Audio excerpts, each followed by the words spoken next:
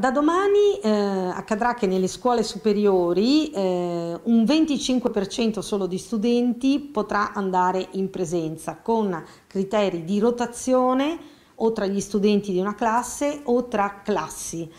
Eh, quindi di quattro settimane eh, che eh, diciamo sono interessate dall'ordinanza, sostanzialmente ogni studente farà una settimana in presenza e, tre settimane eh, collegandosi da casa. Comincia il periodo di quasi chiusura delle scuole superiori di tutto il Veneto. Da domani fino al 24 novembre il 75% delle lezioni dovrà essere svolto con la cosiddetta DAD, la didattica digitale o a distanza, per uniformarsi al DPCM e all'ordinanza della regione. Saranno le scuole, ciascuna nella propria autonomia, a decidere le modalità organizzative più opportune, cercando di concentrare più a scuola le classi prime Indicazione questa che è contenuta anche nella prescrizione della Regione. L'obiettivo in questo caso è di favorire l'inserimento degli studenti più giovani, anche se questa ipotesi è in realtà esclusa da questo DPCM poco elastico.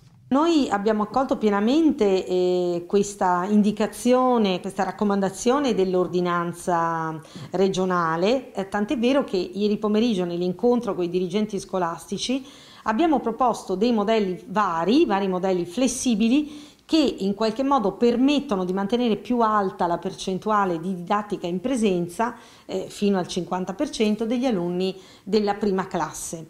Tutto sta adesso nelle mani dei dirigenti scolastici ad attuare il modello che più eh, diciamo, è confacente alla struttura della scuola e soprattutto alla potenza della rete che hanno a disposizione.